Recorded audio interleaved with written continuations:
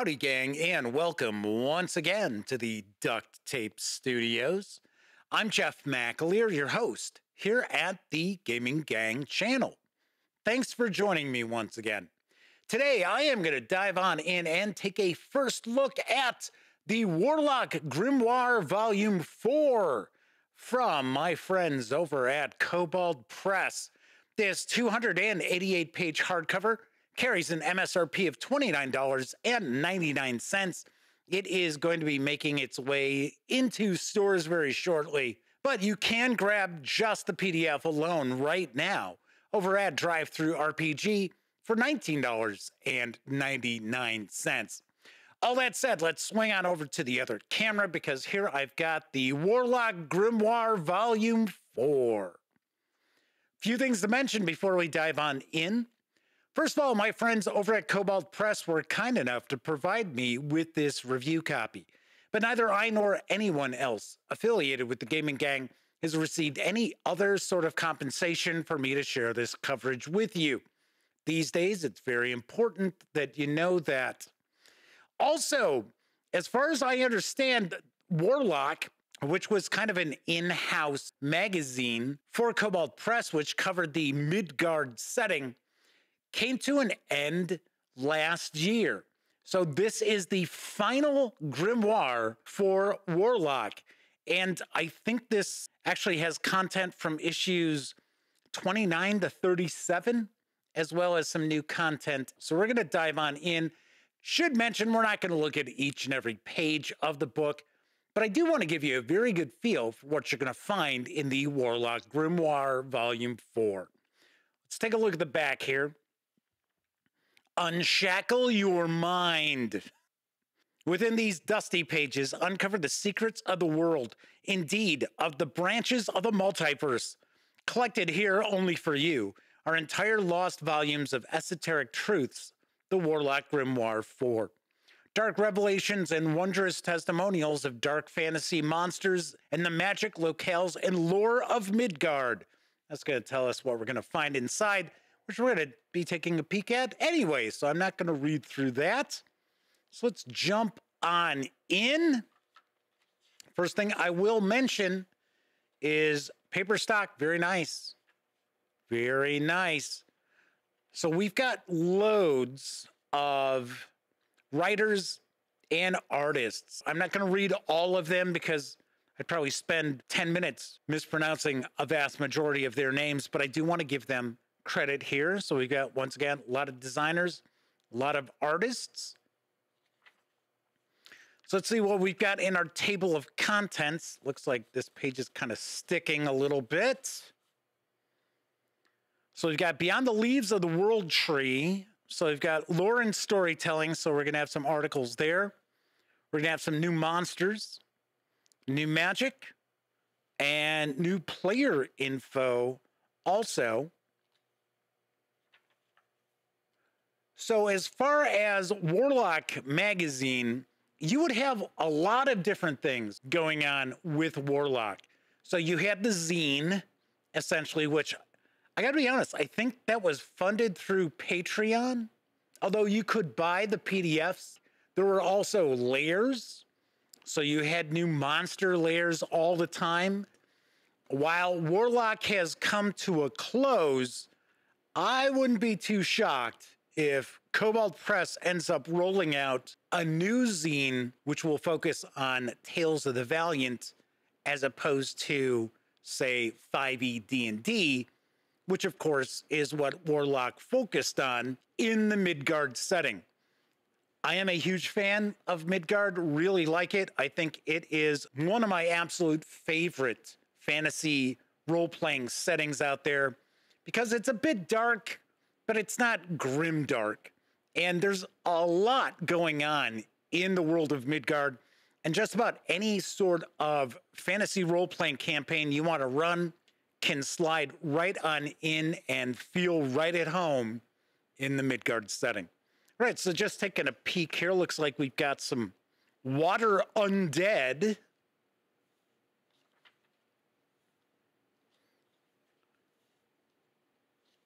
So I'm going to be skipping pages here, but I'm trying to find an article to get us started. There we go.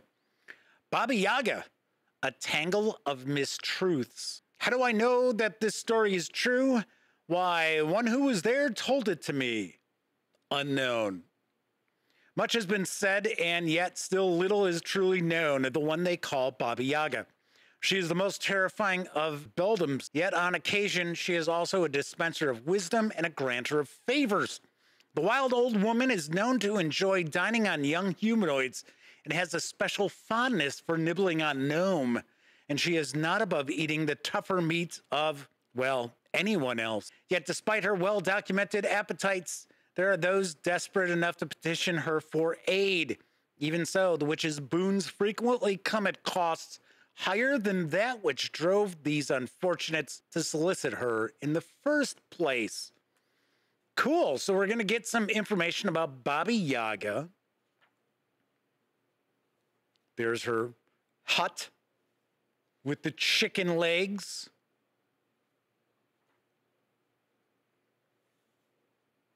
So we've got Baba Yaga's cat, some artwork of Baba Yaga. Nice, very cool. So as you'll see, each of these articles are going to be just a few pages in length. So you're going to get a wide swath of different content in this grimoire. Now, I have shared coverage of a previous grimoire. I think off the top of my head, I think it was the second volume. I found it really cool. It's just taking a look through. Looks like we've got some information about various different kobolds, because of course, kobolds in the world of Midgard are different than kobolds, say, in Forgotten Realms or Greyhawk or anything like that. Actually, looks like that article was a bit longer We've got Misto Cherno, Treachery in Motion. The histories all claim that Misto Cherno is a direct reflection of the uncertainty and unrest among the many tribes of the Ruthenian Plain. If true, then the Ruthenian Plain is undoubtedly a very sad place, for Misto Cherno has never been bigger nor stronger. A long way from a mere quartet of walled wagons, Misto Cherno now boasts a rumbling flotilla of easily 250 massive wagons and dozens of smaller ones. That sounds pretty interesting. Sort of a nomad tribe, I guess. Kind of a, a mobile city. As you can see, artwork's very solid. Certainly has quite a bit of an old school line art sort of vibe to it. Endless skies, elemental plane of air.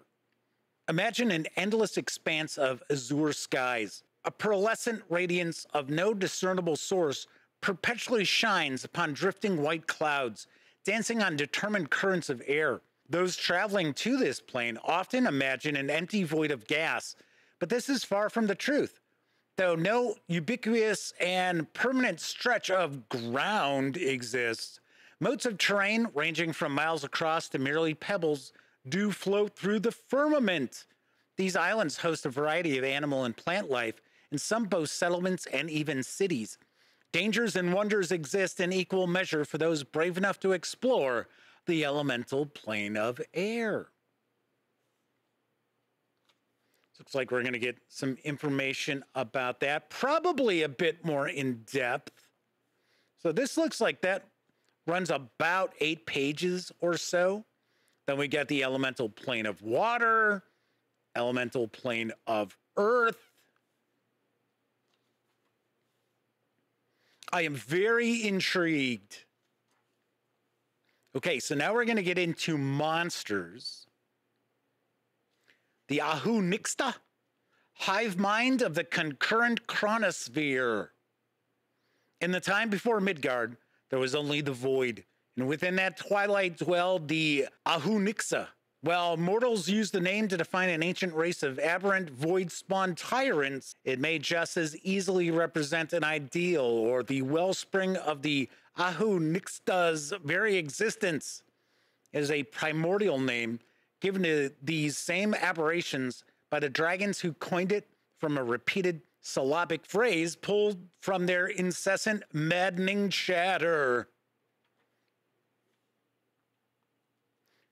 The Font is a little small. Thankfully, I'm not completely stumbling over as I read. But that smaller font also means that we have a lot of content packed on each page. So it looks like this is a bestiary section here. A variety of different creatures.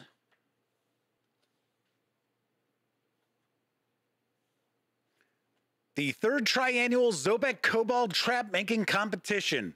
I think now we've moved into the players section. So, yes, there's the Warren Guild. All hail Winslow. Now pass the pudding. looks like some information about that guild. Blue House Red Tides. The Blue House is a largely unassuming compound, though with cold iron barred windows and walls of striking robin's egg blue. Found just down the hill from Zobeck's mighty citadel in the Citadel District, if you're not overly familiar with the Midgard setting from Kobold Press, Zobeck is kind of the core city. It is a free city, so it's not affiliated with any of the nations. And in fact, just recently, we saw a Zobeck source book that was really, really well done. So I gotta say, unfortunately, we're getting some adhesive that has kind of spilled out from the margins there. So some of these pages are sticking together a little bit. And then as I'm kind of pulling the pages apart, it is, it's not necessarily tearing the page, but it is lifting some of the paper off of the page. So we've got Deep Knowledge, the shores of Ankeshel. Founded and built on the ruins of a sunken empire, the city of Casadega is a boomtown of technological wonders. On seemingly every corner stands a workshop, some built on the rubble of previous failed experiments, analyzing and tinkering with discoveries extracted from the ruins beneath the streets. Arcane scholars, artificers, craftspeople, entrepreneurs, and a healthy dose of seedy criminals come to the city on the city to find the next big breakthrough. So it looks like we're getting some information about another city here.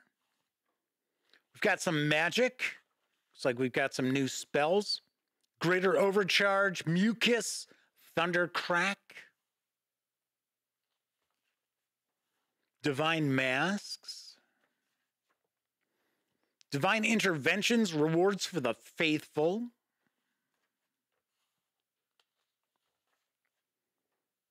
Cloisters of Outer Darkness, The Inevitability of Ragnarok. Oh, this is written by my pal Wolfgang Bauer. Nice. Looks like we've got some various different magic items there too.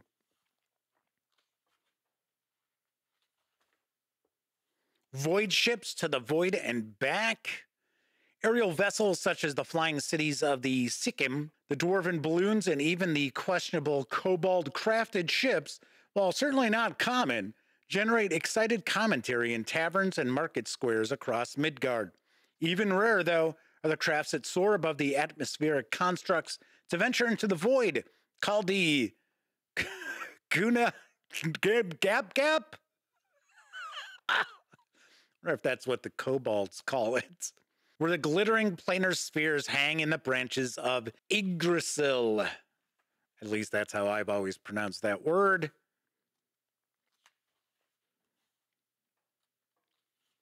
This looks really good. And also, you want to keep in mind the grimoires make for some nice, light, bite sized reading to kind of give you some inspiration for your own adventures and campaigns.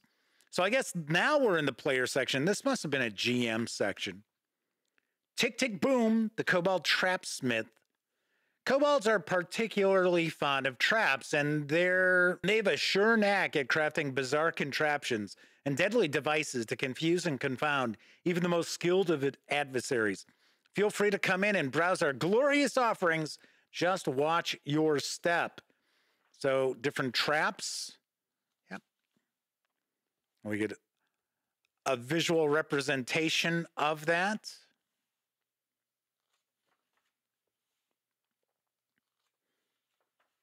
Looks like that was a fairly long section here. Sprig gnomes. Windrunner elves. Elusive, eccentric, and unpredictable, the Windrunner elves have quietly traversed Midgard's vast central grasslands for millennia. These diminutive nomads roaming the steppes and plains are thought to originally hail from the elven capital of Safaya long since abandoned during the Great Retreat.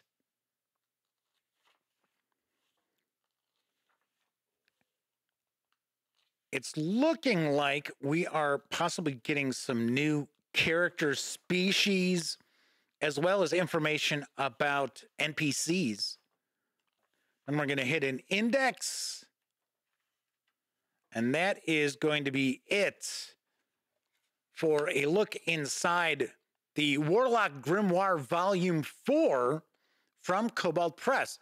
Once again, this hardcover is arriving in stores. It's going to carry an MSRP of $29.99.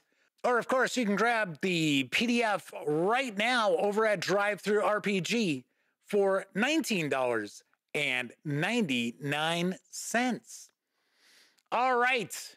That is it for this time out. Of course, I will have a review of the Warlock Grimoire Volume 4 in a very near future. So, of course, if you like this video, by all means, please give it a quick thumbs up. Subscribe to the Gaming Gang channel if you haven't already. And if you do subscribe, don't forget, ring that bell because it'll not only let you know when I upload videos such as this first look, It'll also inform you when my live stream, the Gaming Gang Dispatch, airs Tuesday, Wednesday, and Thursday evenings right here on YouTube at 7 p.m. Central. And of course, when you're not watching videos on the Gaming Gang channel, be sure to visit thegaminggang.com for a whole lot of tabletop gaming news, reviews, and more you will not find here on the YouTube channel. You know the drill. Get your geek on at thegaminggang.com. Once again, I'm Jeff McAleer. Thank you very much for watching. And until I see you next time, here's hoping all of you get to enjoy plenty of great gaming with your gang.